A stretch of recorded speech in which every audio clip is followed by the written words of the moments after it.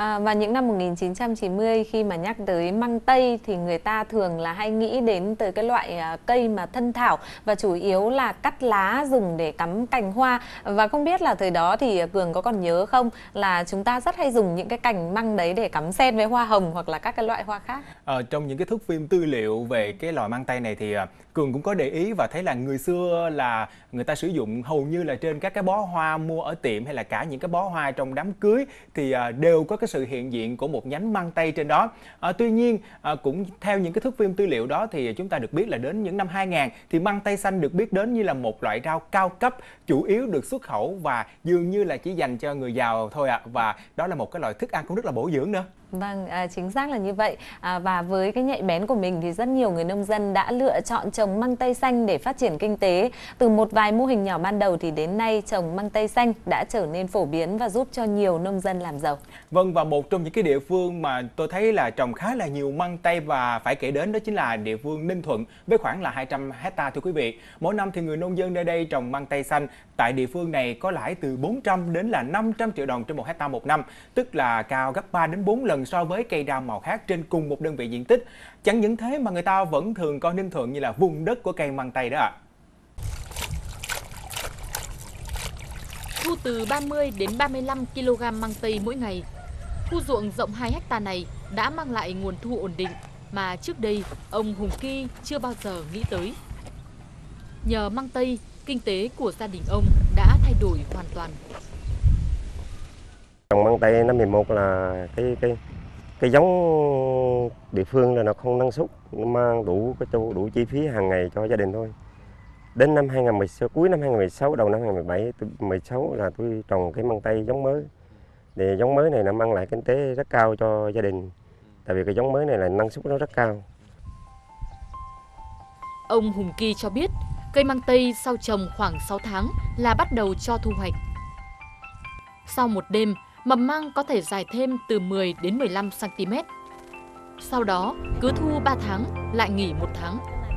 Mà thời gian khai thác lại rất dài, từ 8 đến 10 năm. Ông nói vui rằng măng tây đúng là loại cây trồng một vốn bốn lời. Không có cây gì mà ngày nào mình cũng thu, chỉ là cây măng tây. Tại vì tôi tôi nói ra bà con dân các các huyện các tỉnh khác nó tới học hỏi mô hình này. Tôi cũng nói ra có thể người ta không tin. Mà thực tế là người nào trực tiếp thực tế ở đây mới biết là cây măng tây là ngày nào cũng thu tiền. Tại vì sáng ra mình, mình thu tiền sáng ra mình thu tiền. Hiệu quả là vậy nhưng theo ông Hùng Kỳ để trồng được măng tây người nông dân phải bỏ ra số vốn lớn ngay từ ban đầu mà phần vốn nặng nhất là dành cho việc lắp đặt hệ thống tưới tiết kiệm này ông Hùng Kỳ cho biết Ninh Thuận quê ông vốn là vùng đất khô hạn nhất Việt Nam. Vì vậy, nguồn nước tưới cho cây trồng cũng thường xuyên bị thiếu hụt. Tình trạng này càng trầm trọng hơn về mùa khô. Nếu thiếu nước, cây măng tây sẽ còi cọc, chậm phát triển, năng suất vì thế cũng không đáng là bao. Do vậy, việc lắp đặt hệ thống tưới như thế này, mọi khó khăn khi trồng măng tây đều được giải quyết.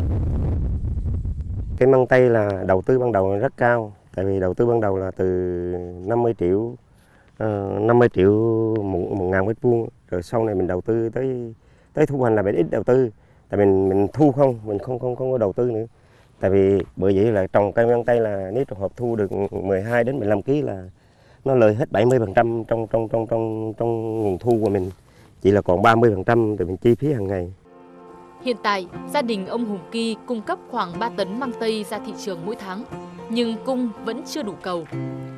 Với giá bán tại vườn là 50.000 đồng một kg, gia đình ông không chỉ thoát nghèo mà còn vươn lên làm giàu trên chính mảnh đất quê hương. Đặc biệt, nhận thấy nhu cầu của thị trường ngày một tăng với sản phẩm măng tây, ông Hùng Kỳ đã quyết định thành lập Hợp tác xã Tuấn Tú. Hợp tác xã của ông cùng các thành viên chuyên sản xuất và kinh doanh cây măng tây xanh. Với tổng diện tích sản xuất là 40 ha. Sản lượng trung bình hàng tháng mà hợp tác xã này cung cấp ra thị trường lên tới 60 tấn. Măng tây thực sự đang là nguồn thu nhập ổn định cho bà con trong vùng.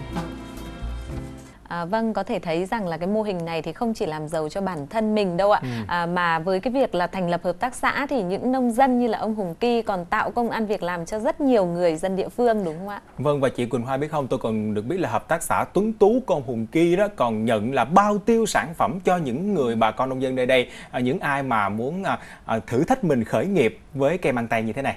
Ờ, vâng và cũng chính vì lẽ đó mà tại cái địa phương này thì mô hình trồng măng tây cũng đã rất là phát triển ờ, và đến tận các thôn bản làng của các đồng bào dân tộc thiểu số và giúp họ có thể yên tâm phát triển và làm giàu.